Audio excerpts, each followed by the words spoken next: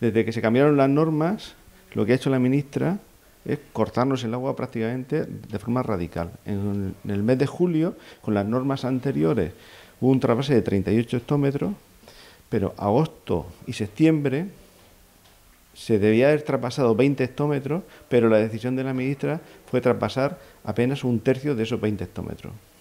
Así de contundente se ha mostrado el presidente de Asaja Alicante, José Vicente Andreu, ante el anuncio de la ministra para la Transición Ecológica y de Reto Demográfico, Teresa Rivera, de que el proyecto de cambio de reglas del trasvase Tajo Segura no provocará una disminución del agua transferida a las provincias de Alicante, Murcia y Almería.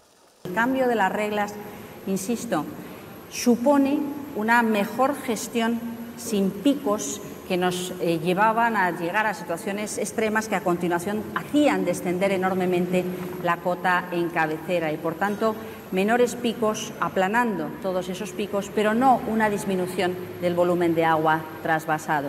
No lo ve de la misma forma el máximo representante de los agricultores en la provincia de Alicante, que son los más afectados por estas nuevas medidas.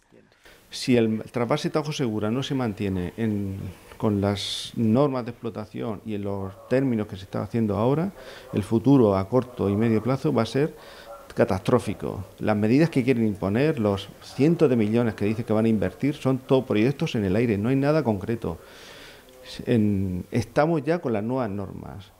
De aquí a final de año quieren imponer un incremento de caudales que aún vendrán a reducir todavía más los trasvases. Pero las alternativas que hay no hay ninguna en marcha y se necesitarán 5, 6, 7 años para que se pongan en marcha. ¿Dónde, ¿Dónde vamos a ir a parar?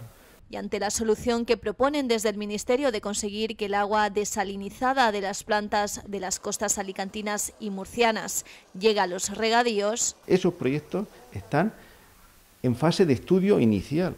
Falta terminar los proyectos, ejecutar la obra y que empiece a funcionar. 5, 6, 7 años, menos no será cuando la, espada de Damocles del recorte del trasvase está, es, ya ha empezado a funcionar ya el recorte del trasvase. En agosto tenía que haber traspasado 20 hectómetros, que había agua para hacerlo, informes técnicos favorables y la decisión de la ministra fue no.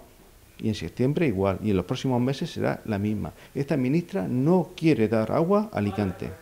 Mientras desde el Gobierno anuncian medidas que no llegan, los agricultores alicantinos tienen que hacer frente al conflicto del agua, a los bajos precios en origen, a la competencia desleal y al problema de precios que se origina con la llegada de productos de fuera.